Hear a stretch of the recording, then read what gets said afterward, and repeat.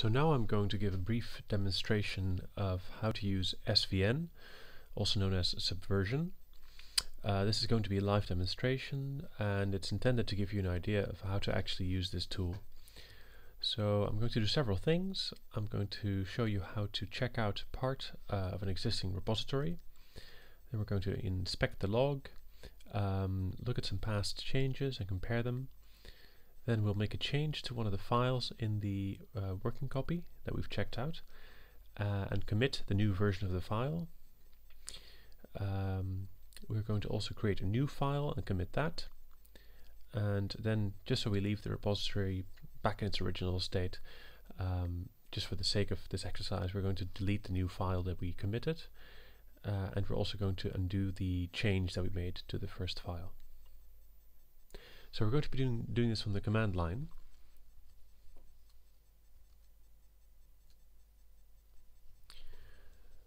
So if I am in a terminal session and I just browse somewhere uh, to an arbitrary directory uh, that I've created on my machine uh, where I'm happy to actually um, duplicate the, the, a copy of part of the repository then the uh, name of the command that drives everything in the case of subversion is svn. For example, I can do svn dash dash version to see which version of svn I'm currently using. Now I have uh, an address of um, the repository, um, namely the, the URL of a location um, where it is accessible and if I want to check out um, a particular part of the repository, I do svn checkout. I'm going to paste in the link here. So as you can see, this is quite a long URL. So um, essentially, it's um, it's going to be uh, so so you see that it's a URL because it's HTTP, and the address is um, a server located at the University of Edinburgh and um, the name of the repository in this case is um, is EPC, EPCC training. So this is just the name of the top level directory, also known as the root of the repository. Then it has um, a trunk subdirectory, which, which is typical of SVN repositories. Uh, this is where this is where the um, uh, where the majority or the or the main or original um, branch uh, of materials lives. So somewhere within the structure um, there is um, there are some materials. I just happen to know this. There are some materials related to um, there's some code. Um, in fact, related to a uh, computational fluid dynamics uh, example uh, written in Python. So I'm going to check out not the entire repository, which would be accomplished by specifying svn checkout and then the URL part that I've highlighted, but I'm just going to check out this subdirectory.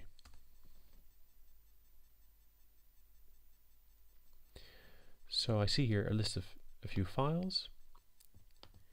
These are the contents of the directory and the letter at the beginning of the line for each, in each case denotes uh, that this has been these files have been added uh, locally to our working copy and the message says checked out revision 761. So in SVN, the revision number, um, so revisions are like snapshots in SVN, and the revision number simply tells you um, how many revisions have been uh, committed since the start um, or initialization or creation of the repository. If I now type ls, I can see that this directory has appeared on my local machine. If I enter into it, I can see that there are now a number of files. So these are Python scripts. I can have a, a, a brief look at one of them. You see it's just um, some source code, some script.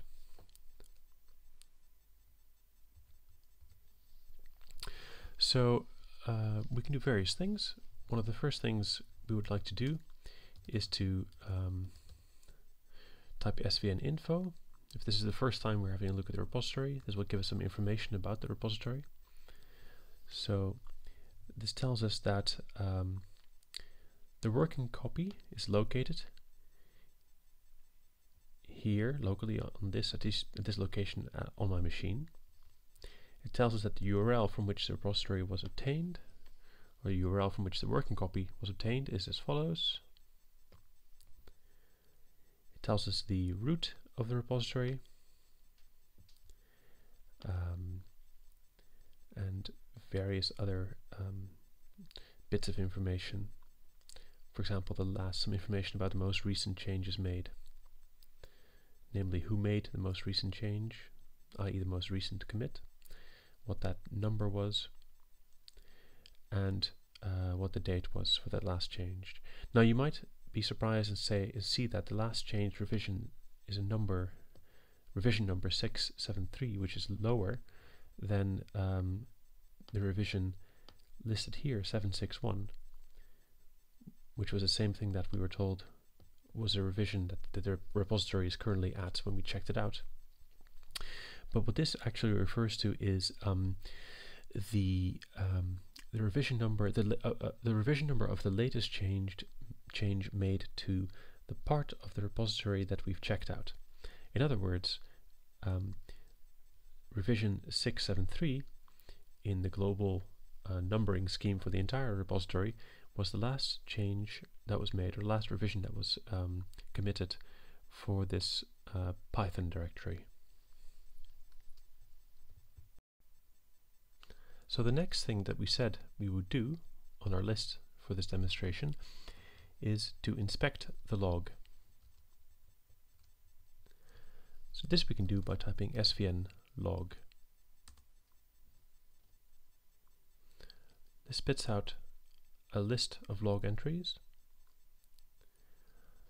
At the top, the most recent one, namely uh, revision 673.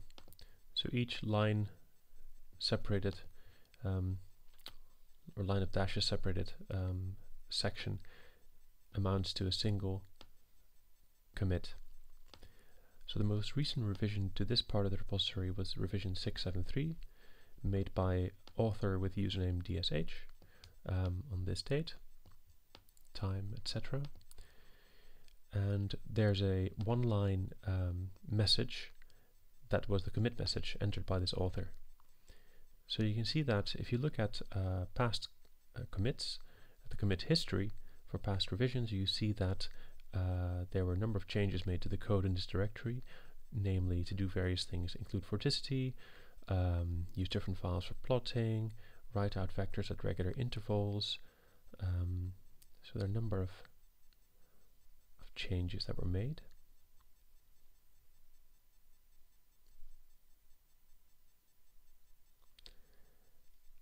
And you see that the log um, only gave us the, the, so the svn log command gave us only the, the the, the log for this part of the repository. It didn't give us the most recent um, revision history for the entire repository, which would include revision 6, um, 761. So if you look a bit further down, you see that in fact between revision 668 and 361, um, in the global numbering scheme, there were no changes made to this part of the repository at all.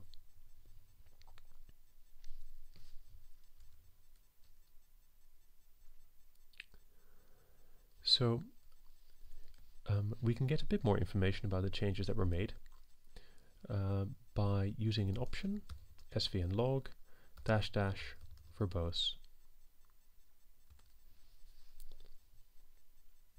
Again, this um, returns a history of the commits. This is where the command with the option verbose was entered. So now, in addition to the um, information that was previously displayed, the commit history for each commit now shows um, lines denoting the uh, files which had which in some way changed i.e. these files were uh, recorded in the commit then there's a letter preceding the file which denotes the kind of changed so in fact um, the letter A stands for add so in this case during commit 673 these two files CFD Vort and Jacobi Vort uh, were added to the repository. They did not previously exist in previous revisions. So the commit message, this makes sense if you look at the commit, commit message because it says code to include for vorticity. So clearly at this um, at this stage, these two files which include vorticity as a feature were added to the repository. If you look at commit 672, you see that there are also two files, but in this case the letters preceding the files um, are M, which stands for modified. So in this case, um, in agreement with the commit message, it just says that uh, in this commit, uh, these two files were, were modified. They were updated to do something else, to use two different files for plotting. So you can see that a lot of the history consists of modifications to files. Modification, modification, modification. If you go all the way back to the initial, to the earliest uh, commits that um, involve this part of the repository, you see that they all involve additions. So these were the original um, insertions of the code and actual, actually the creation also of the directory structure.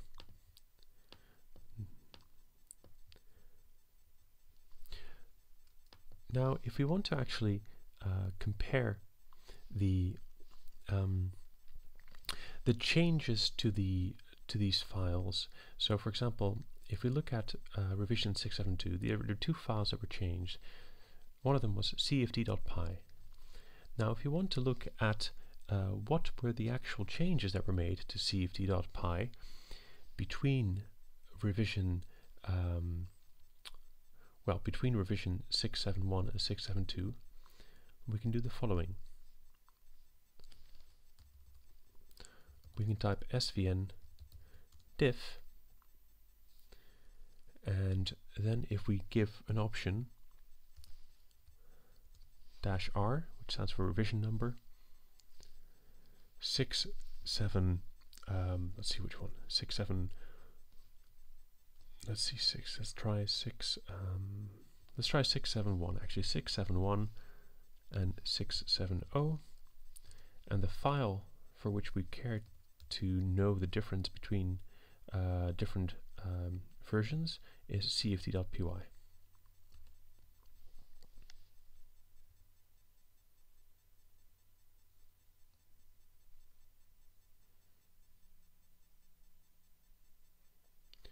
So if you look at what this returns, uh, it, there's a certain notation system that's used by version control systems to denote uh, these differences. I mean, this is uh, similar to what you may be familiar with if you do um, a regular diff operation in, um, um, in, in, for example, in, in Linux in a, in a shell session. So um, entries that uh, were present in revision 671 are denoted with dashes. Entries that were present, or lines, in other words, that were present um, in revision 670 were are denoted with plus symbols. So you see that these two lines, uh, the top one was the previous, um, no, the new version, version 671, and the bottom line is the old version 670. So the only thing that changed was that um, this lowercase f was um, in factor, it was capitalized. So you can scroll down and see the actual literal changes to the uh, to the code. So these are the um, the changes that were made um, to this particular file in going from version 670 to 671. For example, here um, the new version includes uh, an additional um, variable that's being written out um, as part of the data output, namely scale factor. And this match it. So this this is co complements very nicely the um, the log and the commit commit messages in the log because the commit messages give an overview um, and tells you what has changed. So um, we can we can see that the commit messages refer to the uh, scaling vectors, and we can see in the actual changes in the code uh, what the changes were that were made. So in that sense, the, the commit messages provide the, the, the why, and the actual differences in the code show you the how and the concrete, um, the actual, the actual differences.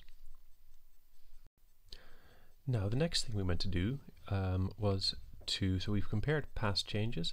The next thing to do was to make a change to a file and commit this new version of the file to the repository. So let's remind ourselves what are the files that we have here. So if we simply decide now that we're going to make a change to cfd.py, opening up that file in the text editor, and I can make some arbitrary change.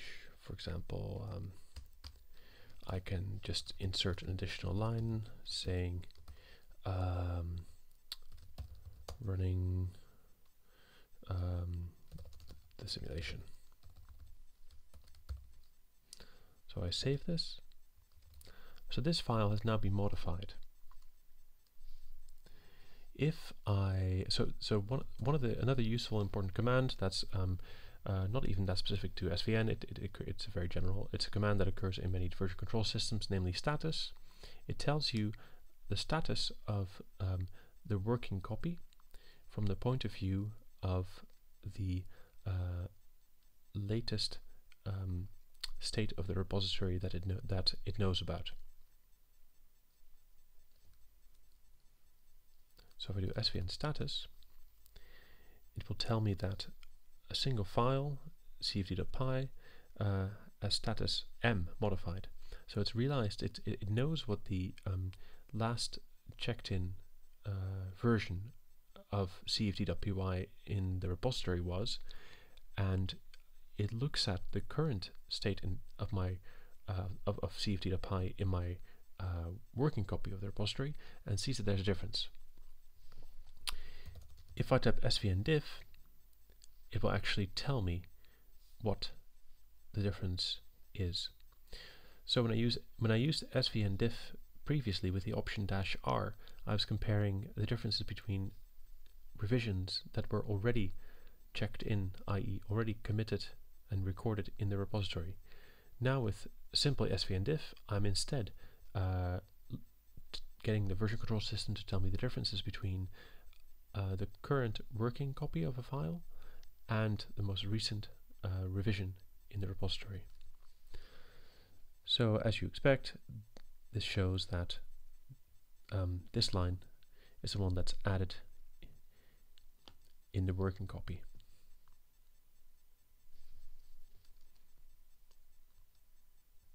Interesting, interestingly, what it's noting is the um, it is indeed noting that this is a change with respect to the most recent um, revision in the um, of the of the entire repository. So it doesn't actually uh, um, uh, bother to uh, check when the last change was actually made to cfd.py um, at revision 6, um, 673 or whatever it was.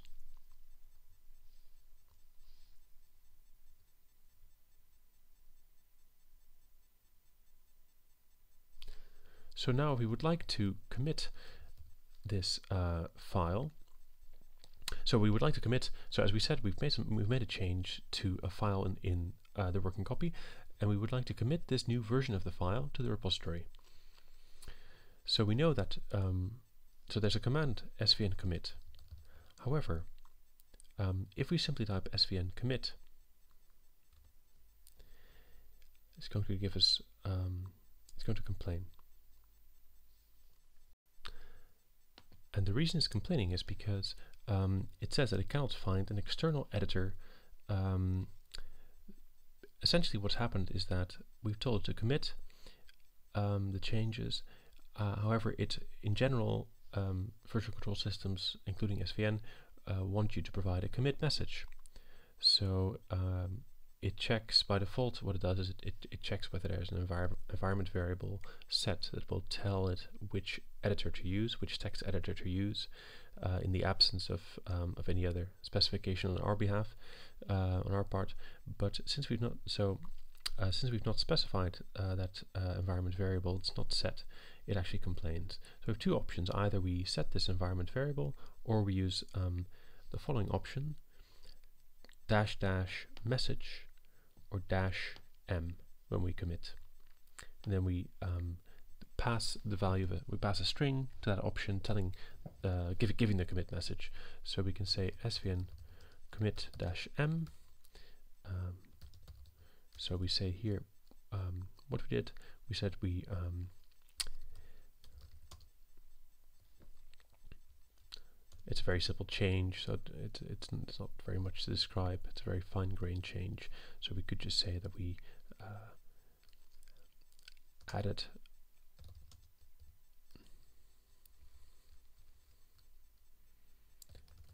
printed out additional information to user in c.py, cfd.py.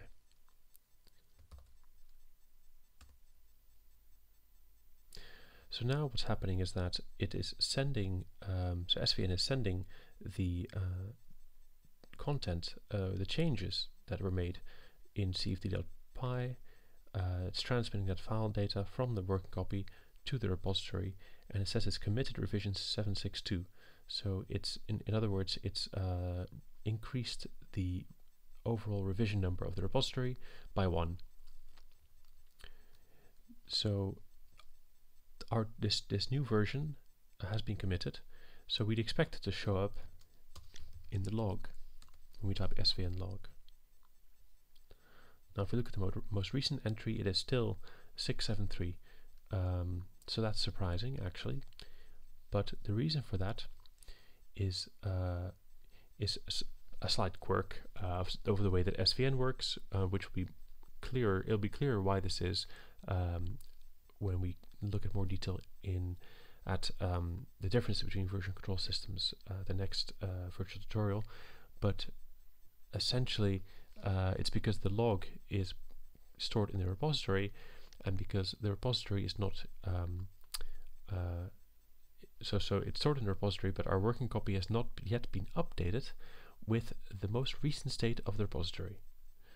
So even though we've committed um, this this new version in the repository and therefore the, those the, that version of the file the versions of the file in the repository and in a working copy are the same the log file is not the same. So we need to explicitly update our working copy. So we use the update command, svn update.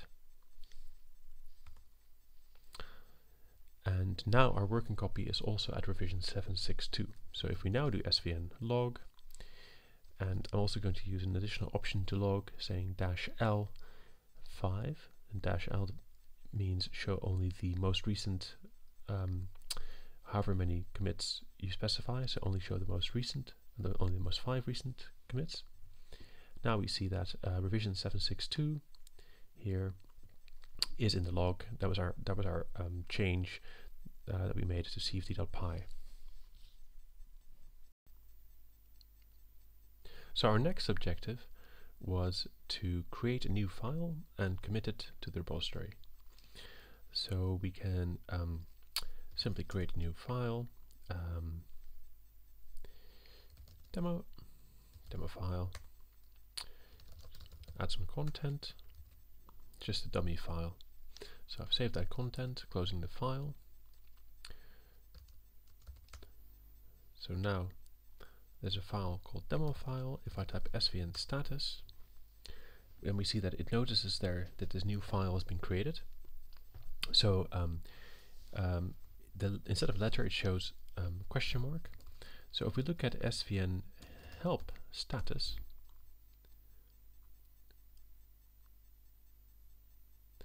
we can see an explanation. So this is very useful to refer back to. Um, we can see an explanation of what these different letters mean. So the exclamation mark means that the item is, uh, sorry, the question mark uh, means that the item is not under version control. So essentially what's happened is that the version control system has noticed that uh, a new file has appeared which is not yet under version control.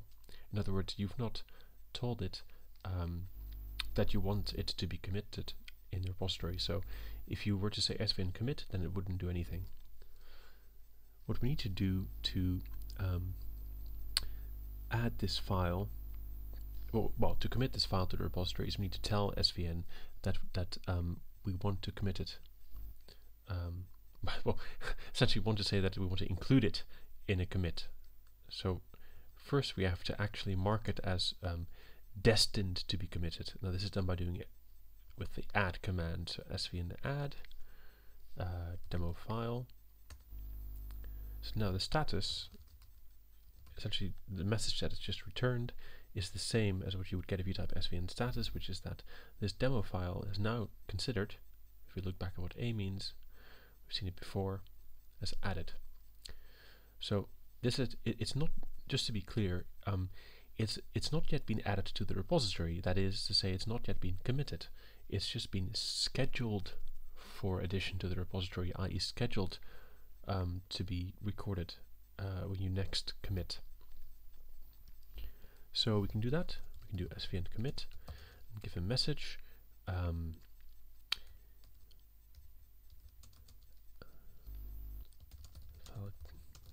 sake of demonstration purposes.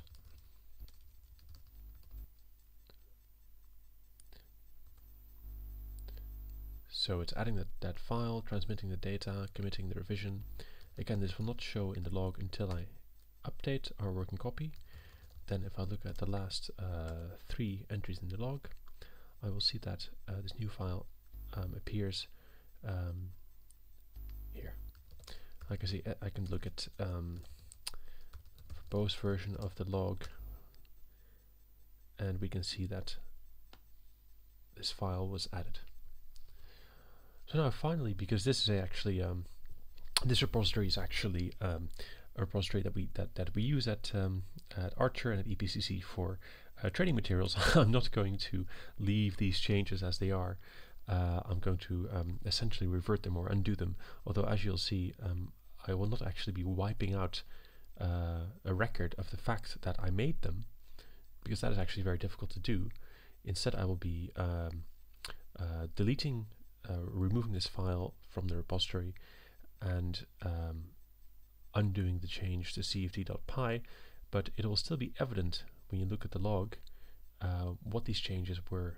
It'll be evident that, that, they were made, and if you do diffs uh, between the revision between the relevant revisions, you'll continue to be able to see in perpetuity what these changes were. So that that um, is just an example of, of uh, that shows you um, how much um, control and, and, and retrospective sort of information a version control system can give you. So the first thing I'll do is delete the file that we've just added. So if, if I do, if I simply remove the file as one would normally do, you'll see what happens. At the moment, if I type svn status, then nothing is returned because um, the current, okay, the state is the same as the last revision in the repository. If I remove the file, demo file, and then type svn status, it will say demo file exclamation mark. If I go back to the help for status and look at what exclamation mark means, as I said previously, it means that the item is missing, removed by non-svn command. So essentially what, what that means is that um, it notices that this, that this um, file is gone, but it's not um, expecting it to be gone. So if I now were to type svn commit, thinking that I would commit the removal of this file to the repository,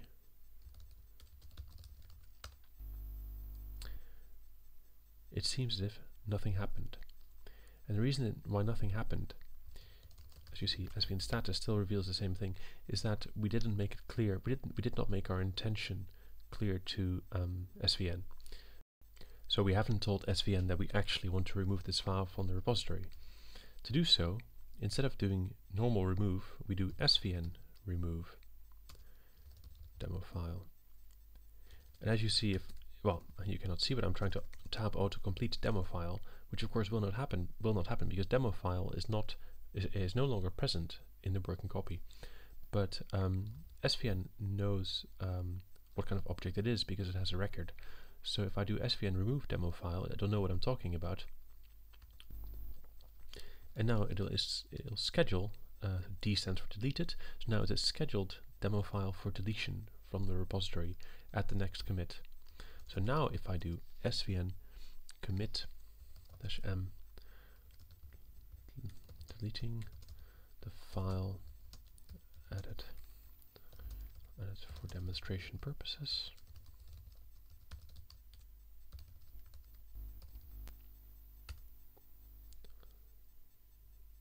it shows me that it's not transmitting data to the to the repository. It's um, just issuing a delete command.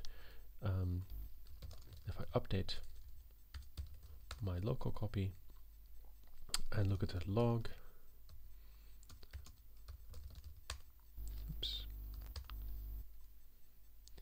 can see that um, demo file was deleted. So, uh, so in other words, so you see here that um, the fact that I added the demo file uh, is, is, is persist. I mean, that's still visible in log. You can always you will always be able to see that at revision 763 I added it, at revision 764 I deleted it. That doesn't go away. The file itself goes away, but the record of the history doesn't. doesn't. So if I um, now the second thing to, thing to do, or the last thing to do actually, was to undo the change we made to the cfd.py. So if I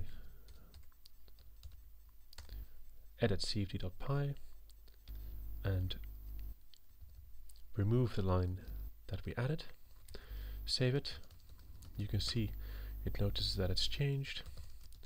So now I'm going to make a commit. I'm going to say um, change cfd.py back to um, its state at revision uh, 6 seven. Let's see which one was it. Um, well, I'll just say to its state before being changed for demonstration purposes.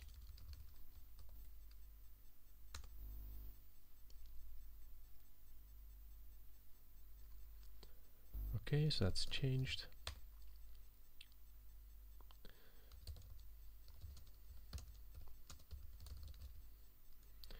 I've updated my local local working copy, and I can see um, I've made that change. So, okay, so we've accomplished what we set out to do.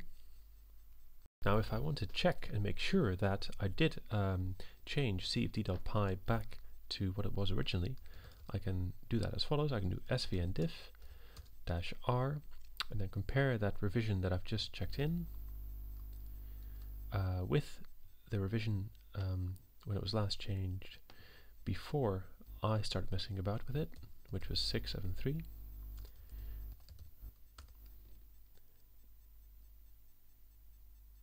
and clearly there's no difference so um, the file is as it was. So that's a brief demonstration of SVN. Uh, I just want to point out that um, SVN help can be very useful. It gives you a list of the commands and then if you do SVN help name of the command it'll give you more information about that command um, and this is typically this is true for other um, a lot of other version control systems as well. So even if you're going to end up using a um, I mean, so that so this for this demonstration was done from the command line um, because that is, in a sense, the most raw um, way of of seeing what all the commands and possibilities are. And even if you're going to end up using a graphical user interface with a standalone application, it's still worth um, familiarizing yourself with the command line and with the direct command, so that you know, so so that you know actu actually what's uh, what some of the options are um, as that you can easily, um, if, if need be, you can easily drill down and find further information.